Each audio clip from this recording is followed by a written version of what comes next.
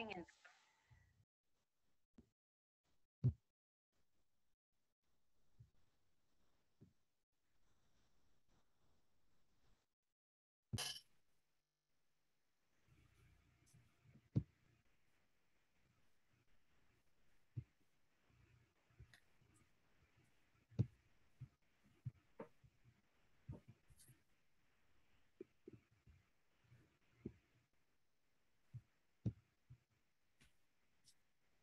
Hello, everyone. Welcome to this evening's Jumpinar. We're going to get started in just a couple minutes.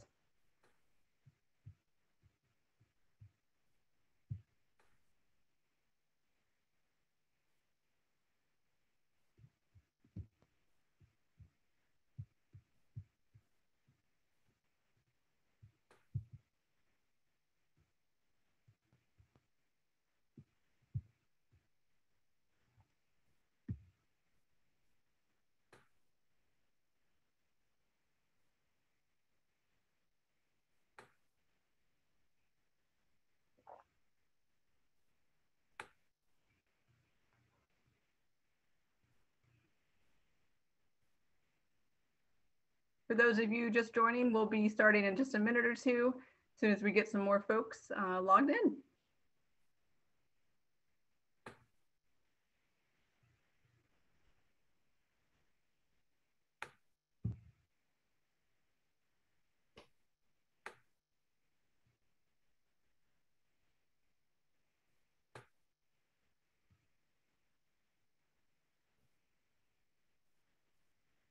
in.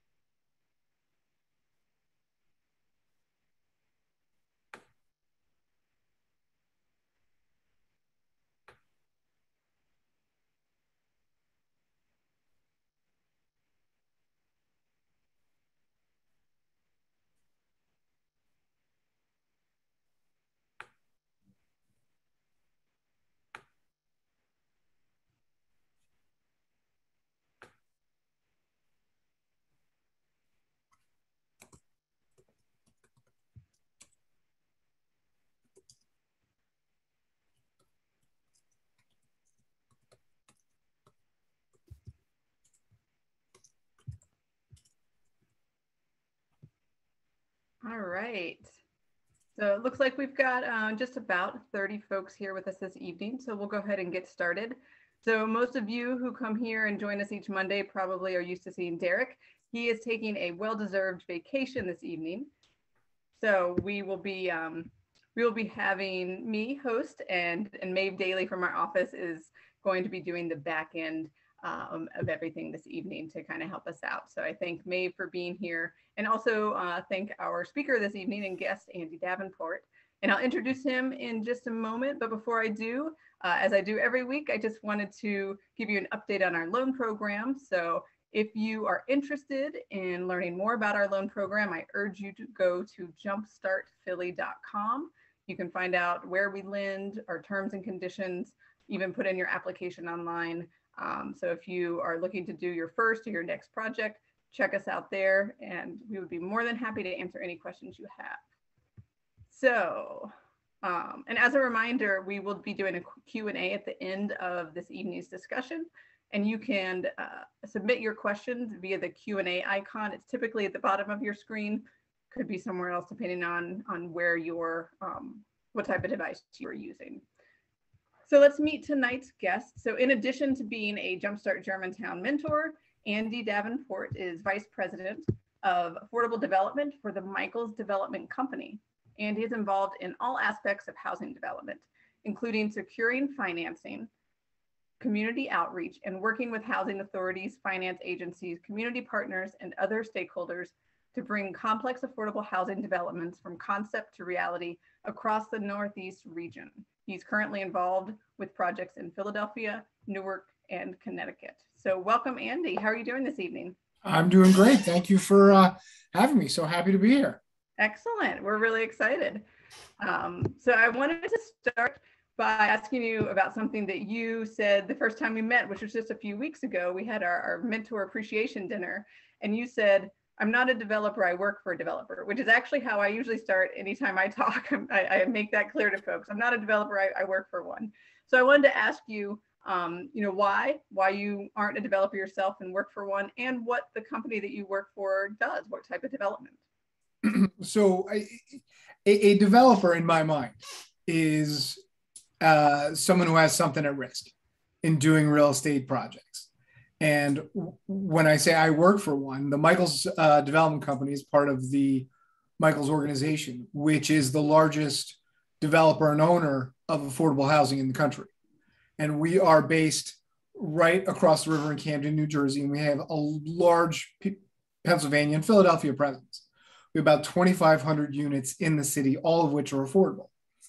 And they were, have been constructed between 1973 and as recently as 2016, we did our last, it's actually an acquisition rehab of about 500 units.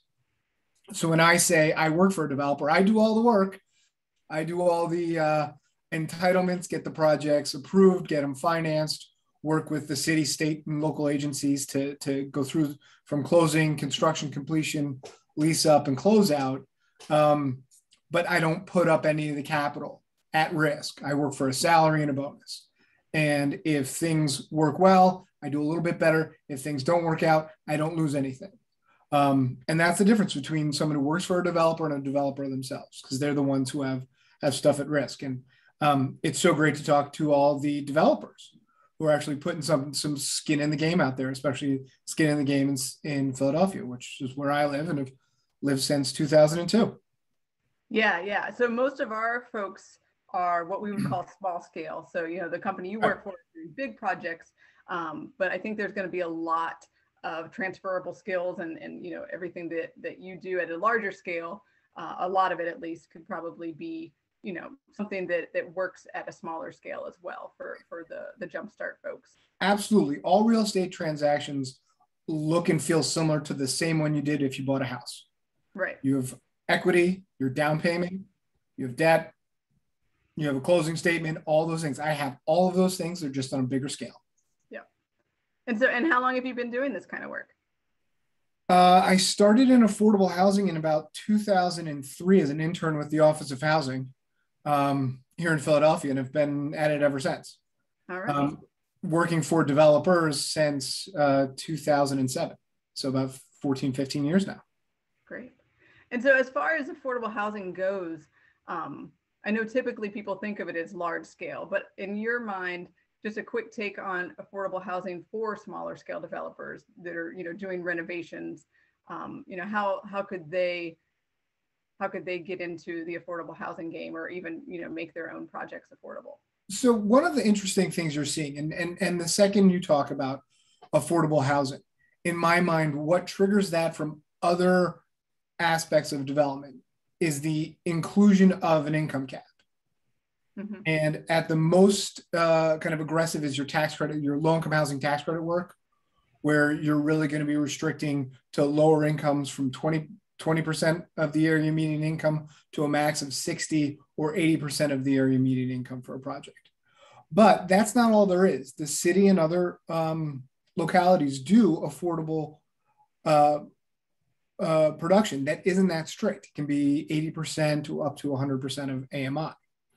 And I think we're seeing more of that smaller scale stuff in the city, especially um, on some of the non tax credit uh, land bank stuff we're seeing from the city, where they are the Philadelphia Land Bank is putting a handful of properties up at a time for uh, development, where you'll get it for uh, nominal consideration but you'll have some restrictions. They won't be as as intense as the low income housing tax credit restrictions. So you can do a mix of market and um, some restricted housing for lower income folks, um, but it really depends. And I think the other place you're seeing it, especially for small scale developers, is those who and owners are those who will rent to Section 8, will take vouchers. And that is probably one of the most uh, direct ways in which a landlord or owner can provide affordable housing just by saying, yes, I will rent to folks who have a voucher and go through that process because it's a different process than just renting to someone who is in off the street and doesn't have a voucher, doesn't have those restrictions. Definitely. And as to your first point, um, you know, most of the folks listening know this, and, and as to you, but Jumpstart partnered with PHA uh, just recently, and we were able to to get 10 properties that were PHA owned in the hands of jump starters who and they will then go on to sell them at a cap um, to to PHA clients, which is it's a great you know win-win for for our jump starters and also affordable housing for folks who who need it. So um, absolutely not, not large scale, meaning like there's not a ton of, of properties we had 10 that we're starting with, but uh, but there'll be you know hopefully more in the future. So um, and then another thing, just real quickly before we get into tonight's topic, um, that we see in our program is what a, a, term I've only heard in the last couple of years, NOAH, the naturally occurring affordable housing, where it's not subsidized, but you know it's it's when you're renovating a home on on your block or in your neighborhood, um, and you're not making it the best house on the block, and you're able to keep those rents low uh, or sell it, you know, at sort of it's it's market rate but it's not uh, it's not like the extreme high prices. It's not moving moving the needle um, in an upward direction. It's kind of keeping things stable.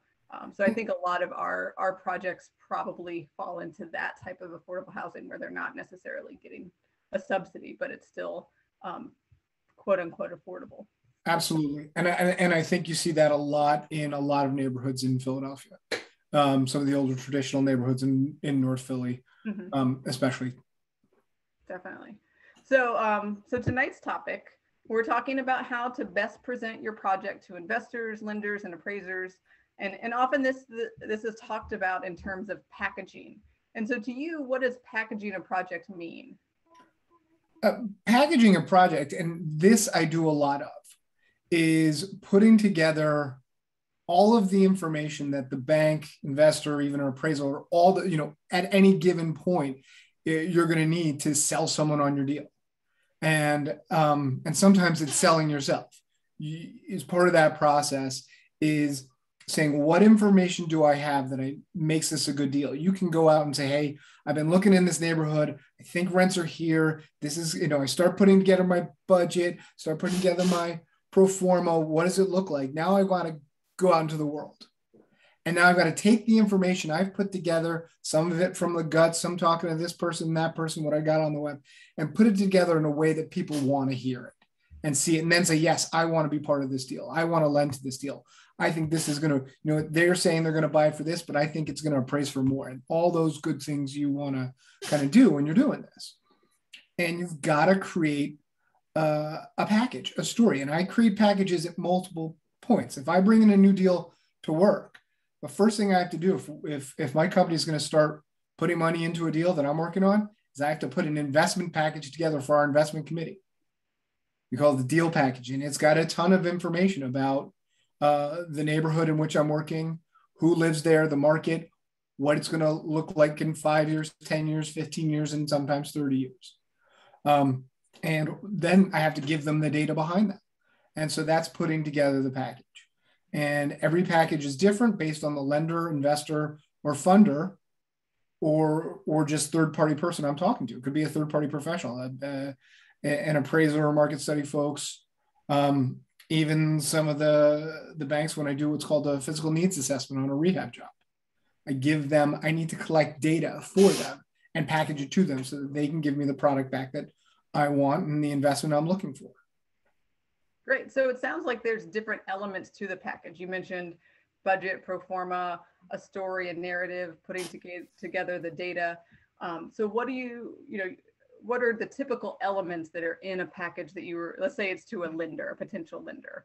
So what, for, would, what do you think those elements are? For a, for a lender, the first thing I do is I put together my development budget, my operating pro forma, and for a lender, they're going to want to see at least a 15 or 30 year uh, prospectus pro forma, how the property is going to do every year from rent income, debt service, debt service coverage, and then cash flow to, to me.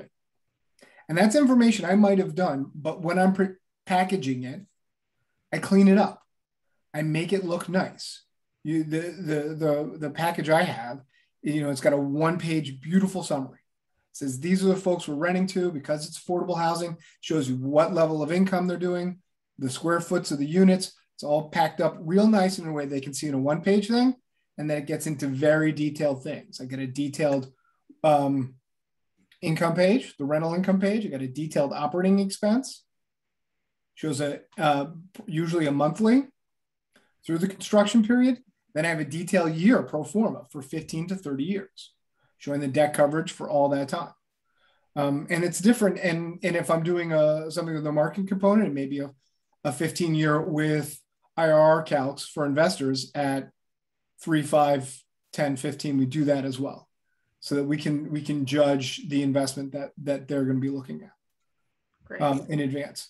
And then I often will, uh, especially for lenders or, or even before that, when I'm going to one, my investment committee, which is going to be more similar, I think, to, to the kind of things that that that jump starters will be, be doing, is putting together the package that isn't reliant on expensive third parties. When I take something to my investment committee, I'm not going to uh, have a market study in hand, an appraisal in hand, all the things when I go to a bank, I'll have in hand. I'll have a fa- I'll have my environmental reports. I'll have everything done before I'm asking for money. But when I go to my investment committee, I'll have none of that. So I've got to put together rent projections, income projections. I I have to have some market data. So how do I know I'm going to make the rents that I'm, I'm projecting? My my operating expenses. How am I justifying my operating expense? all that has to be worked out and i have to have some data behind it or else i'm not going to get investment from my company they're not going to say they're going to say wait a second go back to draw one. We don't think the market's there. We don't think uh, this is ready. And so that's a big part of what i do especially on the front end before i go into getting third expensive third parties quite frankly. And so with that data um, because you know in, in our very small pro forma we still are asking similar stuff. We're looking at you know your what do you expect to rent it for? What are your operating expenses? Um, and so where where could folks find information on you know rents in the area where their project is and then how can they determine what their operating ex- expenses might be? So rents eh, rents are almost an easy one uh, because there's a ton of data out there um, but it, it it's how you want to package it because you're going to have an idea especially you've, you've looked around you've, you've, you've gone around the neighborhood hopefully and gotten some idea. Talk to a few landlords uh, when i do when i include market rate um, property a little bit of market rate units in my properties which we often do um, as a component i go and pretend to be looking to rent a property. I will go and call landlords, say, "Hey, can I come see your apartment? I'm going to move to the neighborhood." I've done that a lot, and especially if there's new product in a market I'm looking at. I call them up, pretend to go in there, and I just because I want market data. I will go on to uh, Craigslist, see what people are renting apartments for. But the first thing I'm going to do is define what is my market area, and this is what market studies do. It five block range is that my and then is that my census tract, my census block, my zip code, and how does that compare to the city as a whole? So all of those points, I, I kind of define my area that I'm going to look at. And sometimes you've got to kind of match the area to the data that you're you're kind of working through, especially when you get to that bank level. Let's say you've gone out there, you visited a bunch of comps, you got pictures of them. I would get pictures of them because you're going to need those when you package it for the banks but then you go back and say, okay, how does that compare to what the bank will see when they pull up their data? Because they pay um, they pay a lot of money and they have a lot of data. They they have all the mortgages, all the rents that um, all the mortgages they have, they're collecting rent data on. Um, or they pay CoStar or another data uh, aggregator um, Berkadia, which is a really big lender here, has an entire inve- uh, research division. That's all they do. Um, that collects this this market information for it. So you've got to give them the best data that they can compare to what they've got there. So just having your Craigslist ads and reports should be uh, included with something that says, "Hey, these are the rents I found on Zillow in the zip code." these which match the incomes that I found on the Census Bureau, the American Fact Finder, um, which is constantly what you're doing. And then this is how it compares to the city. May or may not include that in the package.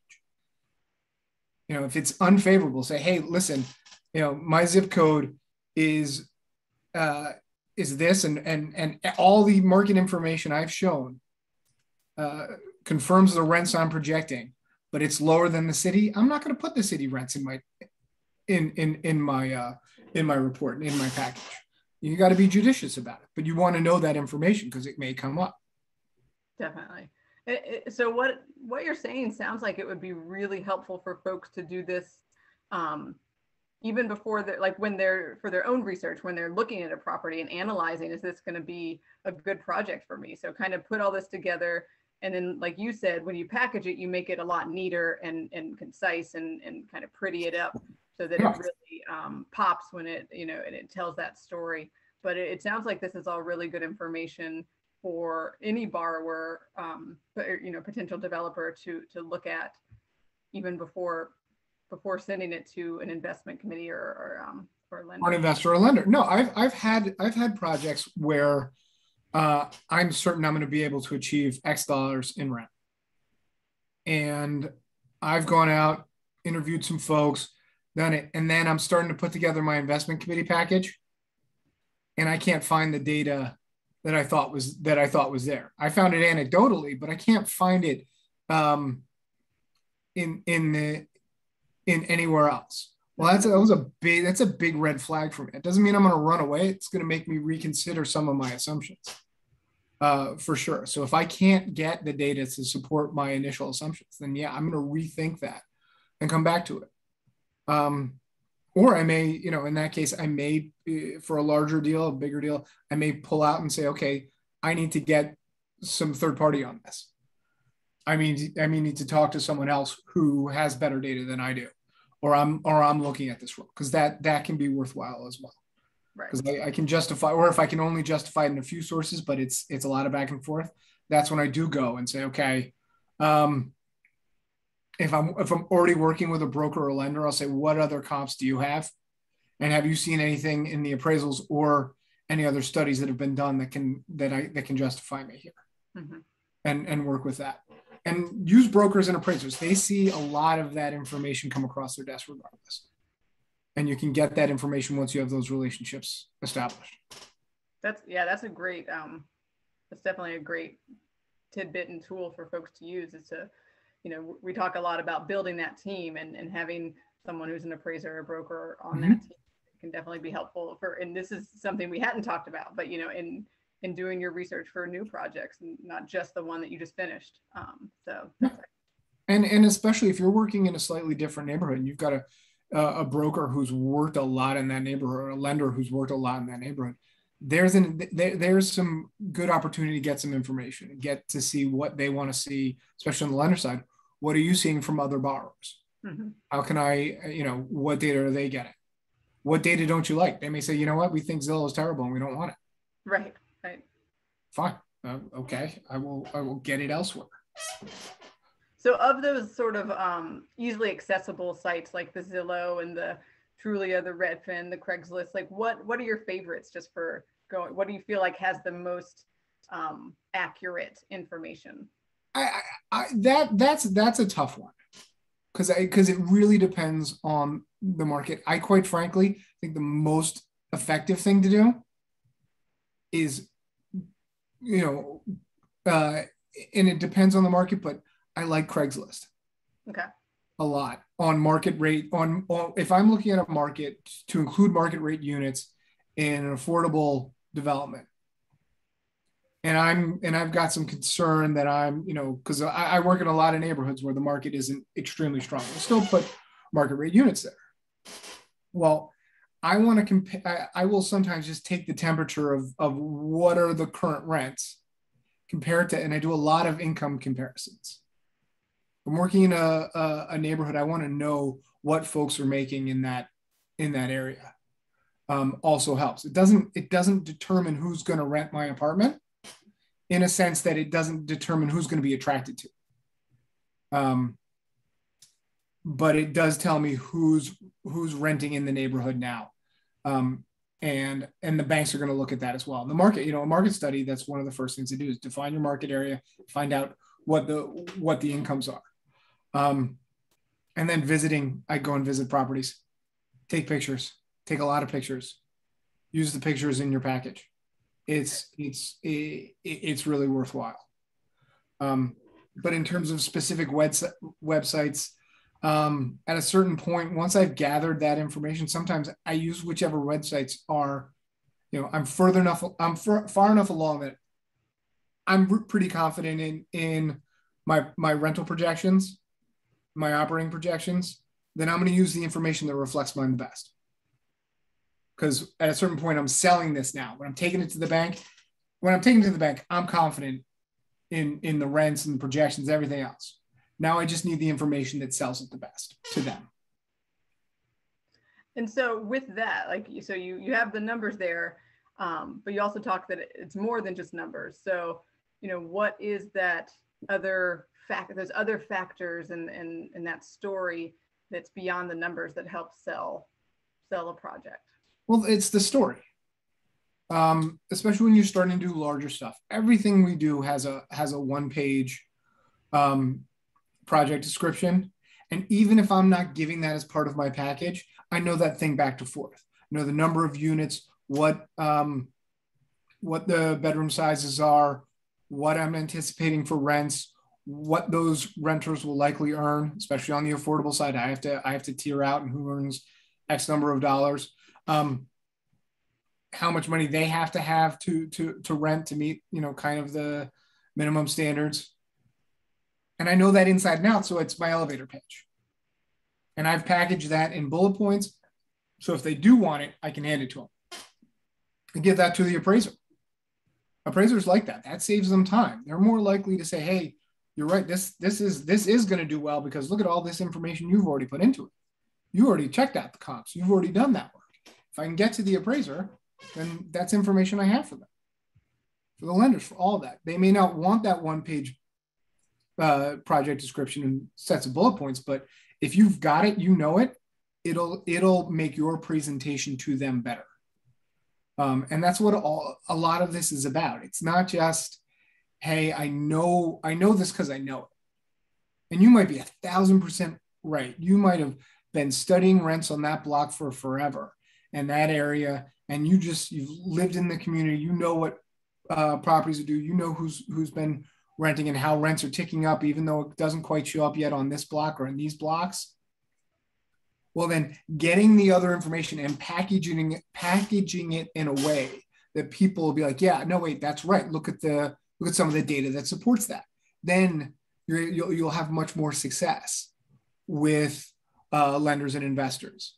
Um, and taking that data and that story and presenting it cleanly and succinctly mean, as you can tell, I like to talk. I can go on. But when I'm talking to banks or investors, I try to be quick. They don't have a lot of time. They want to cut to the chase. So I try and give them the the things, the key things they need quickly. And yeah, I got to have it on hand. Yeah, that snapshot picture to, to kind of sell it. We, I mean, even in our very small scale uh, loan operation, we similarly, you know, we're getting in three to four applications a day, and it's it's Derek and I that are looking at them. So we appreciate um, when everything is is is very succinct and to the point, but um, but does you know it's it's filled out properly and, and has all the right information so that we're the, the potential borrower isn't wasting time having to go back and forth with us with us you know having to ask lots of questions about about their um, proposal but yeah, oh, yeah.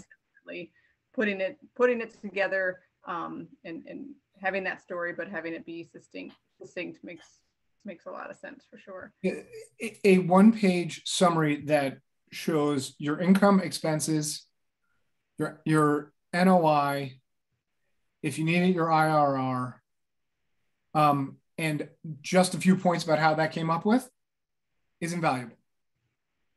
Then being able to recall the details that came into that work and being able to present that is the next is the next step. Because once they've gone through the one pager and they're like yeah i like that. That's good. That makes sense to me. Then you go into the then then the underwriters get their hands on it. And underwriters their job is to dig. And so that's when you want to have the detail and say okay you came up to these rents but what what justifies these rents well look here you'll see my f- five pages of comps. Here are the pictures. I mean even for smaller scale stuff here here are the here are the craigslist ads. Here i went and visited them. Here are the pictures see how old and cruddy this is? I'm planning this is my work schedule. Look how much nicer this is. So i do think i can achieve $10 more a month. That's that means something. Yeah that's that's great advice. I think um, I, I want to go back a little bit. You you talk about the you know having those comps available. So what if you know in a lot of our areas specifically things are very block by block, and so someone will send in something and they'll have three great comps, but then when you look at at all the comps, it's like well there's actually closer by ones that aren't as good. So how you know do you do you it's hard because people of course want to to show the best picture right. but, but also they need to be accurate. And so you know how, how does how do you how do you kind of i guess follow that line of of making sure that it's it's going to have the the arv that it needs when you're you know ready to refi um, when there's so many different comps in in a small area so, they all seem good so. right and, and and that's and that is that is that is the big challenge i mean there's no you know um there's no there's never the perfect comp you know it's ne- you know the, the property that just got you know $20000 worth of work is it was was converted into you know or $50000 worth of work is three units looks great and is is leasing at a thousand bucks a unit and it's just next door. That the chances of that are slim to none. Right. So um, you you can't ignore the bad info, and you can't sweep it under the rug. You can say you got to have information about why it doesn't apply, or if it applies, what that means for for for your project. You're like, hey, wait a second, you know, yeah, two blocks over they've got um, they've got you know they've got that three unit thousand dollars a month um, building and there's three of them but there's also zero vacancy. There's no vacant lots on the block. Um, every house is being cleaned and, and and and the bus stops right on that block and the bus stops two blocks from me that's a consideration or you can say, hey, wait a second, I may not be able all the way there, but I'm not the, the other comp you brought to me doesn't have this story. Look, there's no work on that block. It's got more vacancy than mine, you know, in terms of vacant lots. You may not be able to get the actual apartment vacancy. Um, and you've got to go and find out like, hey, what's really going on? And, and listen, if, if someone comes back and says, I think this is a better comp for you, find out that's good information. It's it's all information. Um, you know, and and and I've certainly been there with with with with banks who who you know on a big bigger deal. I like, wait a second, we don't. You know, your market study says X, our market study says Y. I said, okay, well, let's look at your market study. What did what did it what does it have that mine doesn't? What is it taking into account that mine doesn't? And then sometimes I'm like, wait a second. Your your your your primary market areas you know you've changed it up. And so if if your lender gives you that information that's just good news for you in a sense. That it's it's information you can use to either refine what you're doing or um, you can find out and say hey wait a second. I think you might be wrong. I mean, you know and you can ask that question like hey wait a second why are you using that block that block that block is terrible it's nothing like my block. My block's great. The, the block I'm working on, this is a good block.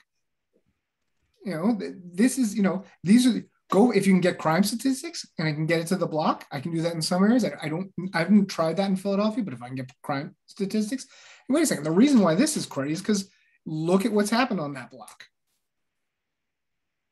And yeah. I've, I've, I've done that with um, on a larger scale with public housing developments. And I said, no, no, no, you're comparing me to this one. That's, you know, this has, look at the crime statistics here and look at the crime statistics here. No wonder this one has higher vacancy rates. I wouldn't want to live there either. and so that becomes a thing that you go back and forth on. But um, it's worth talking. I mean, when those questions come up, those are conversations to be had. And say, wait a second, why are you doing this? You just say, well, here's why I chose this. Having some information about why you chose your comps is important. Yeah, I think that's that's really good advice. We have a lot of a lot of folks sometimes just um, give us what their realtor gave them and they don't really you know they might not have even looked and and, and they're like well this is what my realtor gave me so it, has got to be worth this. And it's like well let's look a little, closer. So you really need to you know have your own eyes on this project and not just take the the word of, of a realtor necessarily. And that's a good start but realtors are also commissioned folks. And there's nothing wrong with that but and they have a lot of information. They can point you in the right direction but you you you uh um you can't just take that at, at, face value and say, oh, wait, no, well, of course that makes sense. Is right. it going to pass an appraisal? Right. And, and you should always be, yeah. How you mentioned that, you know, asking, asking the bank um, questions about where they got their comps from. And, and we encourage folks to do that with us because we'll often counter with, hey, this actually looks like it's, it might be a, a closer, more similar property. Um, and, and then you're right, sometimes because we aren't going out, we're looking at Street View and it might be that Google Street View is a year old in the last year that block has changed. And so if they're like, actually check out the, you know, the the permits on these three properties next door, they're all getting renovated. And then it's like, oh yeah, okay, well then that definitely changes things. Um, yeah. Where you know our data that we're looking from the office might be a little bit older. So so yeah, yeah. definitely being on top of it and and you know not taking the, the bank's info or the realtor's info just for that you know as the final word and, and doing more research sounds like it's important for folks to do. Yeah. I, I mean and it's it's other things that that actually can impact um and help. Photograph your if you're going to photograph your site do it on a sunny day. Hmm. I, and and it sounds silly, but it, it, it's true. Get take nice photographs. You don't need to pay anyone to do it. Just take nice photographs. Take take your time. Um, real estate on a sunny day, you know, a nice day, your pictures will come out better. Um, I, the same things, like I said before, you know, the, the same things go for buying and selling a house apply to most real estate transactions. You know, um, I always joke that I never look at new real estate on a sunny day because then I'm more likely to just be like, yeah, it'll work. It's great. You know, my deal junkie comes into effect. I'm like, yeah, let's do this. And of course it's going to work. 10,000 square feet, but we can get 40 units in there. No problem. It's fine. It's beautiful day. Um, yeah, that makes a lot of sense. I, so as we're wrapping up here, I just want to remind folks to put in any questions in that Q&A. Um, but yeah, so as you mentioned there, just that last tidbit of, of, you know, taking, taking photos on a sunny day, what other just sort of tips for, for packaging that might not be specific to, um, you know, might not be a larger thing like the budget and, and the story and the data, but any other just tips for, for how to really present it and, and sell it to, to investors and, and lenders and appraisers? Um, a, a budget is a very simple thing you know and and it's very easy like i do excel budgets all the time. I do back of the napkin excel budgets and it's it's a mess because i've been doing them for years and i know exactly how to do it and it looks like this and i'm done. I'm like oh great. But i can't give it to anybody because it looks terrible. Take the time make your pages look nice. Um, one of my mentees did he, he did a, a, a spreadsheet or a, a PowerPoint, and uh, I won't say who I really think it was for, and I don't think it was a bank, but it was beautiful, um, really well done, succinct. The spreadsheet, the the you know every column, the columns had a separate color. The total lines are budgeted in light gray. Those things actually matter. Banks actually care. It makes you look like a professional, and that's worthwhile. Um, and I know it sounds kind of silly because the information that like my garbage budgets that I do on the back end napkin are just as good as I can, um, just as good as the pretty one. But I know it's going to happen if I try and hand that hand that one to anybody. So don't think it's not worthwhile to take the extra time. Uh, use an Excel template and then mess with it just to make it look prettier. It's all worthwhile and and and it makes you look more professional, which makes people want to give you money. Yeah. Are more likely to want to give you money. Right. Uh, yeah, that's great advice. Our um, we had a, a, Jumpinar several weeks ago where we were kind of giving folks tips about our loan program, and similarly, just like making sure um, that it looks good. And, and we have a set pro forma, but just like putting in, you know, make sure you put the address of that property in, like very simple things that you, when you're excited and you, you know, you know, you know, it's a great project that you might forget and, and just those little mistakes and just making sure that you sort of proofread and edit um, so that it's, it's easily readable. Yep. Uh, notes on things. We'll have some people that just in one cell will write like, you know, paragraph after paragraph of notes. And it's like, that could be sent to us you know it, it's hard for us to read. It takes time to to cut cut and paste it into a document so that we can actually see what's going on. So all of those little things um, just save time and and you know it's not that we aren't lending to folks if if if it comes in messy but it's it's nice when when it, flows and we can go through it a lot faster and um, and easier on our end so. Right. Or, or when you're um, when you get a little bit bigger and you start doing uh you know, maybe some new construction, maybe bigger 10 unit uh, rehab kind of acquisition buy hold situations. You need a bank. I mean, they get a lot of money, a lot of people coming through, a lot of lenders coming through. Give them something that they're not going to throw at the bottom of the pile because time is money. And you want to be the first one, you know, when when it goes to underwriting, you want to be the first one getting read and and and, and being looked at and yeah. giving them, you know, something succinct, succinct and pretty it helps you get to the top of the pile. Yeah, definitely. Well, thank you so much. I think that that wraps it up for for this part of our discussion. And I'm going to see if we have some questions. It looks like we have one. I encourage anyone else um, that has questions to, to put those in. So Sonia is asking a question that I think is going to be a little difficult to, to answer because it's um, it's pretty, I think it's going to depend on the bank. She's asking what is the average bank loan in number of units what size projects are banks interested in? Maybe that second one. Um, is there something, is there a type of project right now that you're seeing lenders are, are more eager and excited about lending? I, in, in, in, in my world, um, there's, there, there are, you know, on the affordable side, it's, it's very different from this. The ones they want now are, um, we're seeing a lot of what we call agency loans, GSE, uh, Freddie Fannie loans um, with with large folks. But um, I think more important is find lenders who will take your loans, and that may not be a bank.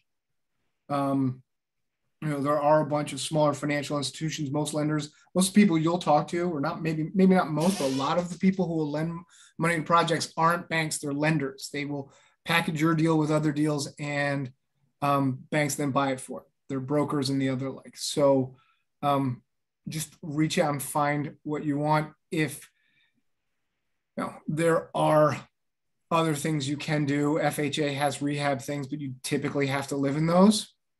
But I think FHA has some pro- uh, product where you can live and rent. So if it's a multi-unit with rehab stuff, so that's worth looking into.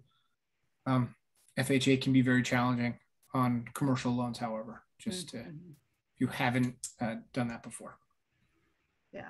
And uh, Sonia, as far as, you know, for our program, our average loan is about 115,000, um, which is pretty small, I would say, compared to most commercial loans.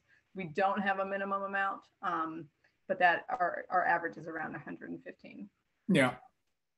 And then um, that is actually the only question I think you, I think you're, you're you really covered everything really well. And I, I learned a lot. I'm excited about um, putting some of this into place as far as how, you know, we look at things and how we can um, communicate with our, our applicants and, and give them some tips on, on where they can go for different things as well um, on an everyday basis. So I'll definitely be using this information um, every day when I'm, when I'm communicating with applicants. So I really appreciate it.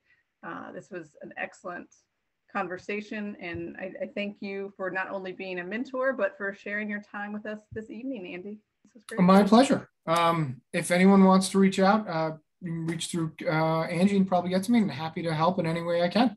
Uh, good luck to everyone out there. Great. Um, and I'm just going to share uh, what's coming up in the next couple weeks. Uh, let me bring that up real quick. All right.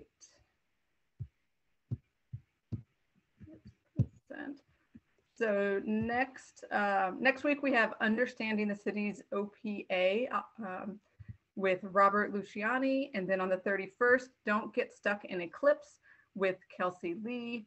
Uh, she's coming back. She did uh, one of our early on Jumpinars, and this is going to be a little bit more uh, in the weeds. So that first one was kind of an overarching uh, eclipse presentation. This one's going to go a little deeper. And then we do not have anything on the 6th because of the holiday. And then just as we always want to let you know, these are available as podcasts wherever you get your favorite podcast player. Um, just search for Jumpstart Philly Radio and we have over 60 episodes. So if you have any uh, road trips planned, you can can download those and, and listen on, on the way.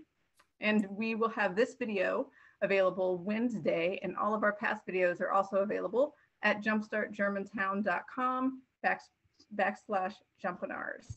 And I thank everyone for joining us this evening. Um, this was a great conversation, and we look forward to seeing you next Monday. All right. Thank you all so much. Bye. Bye.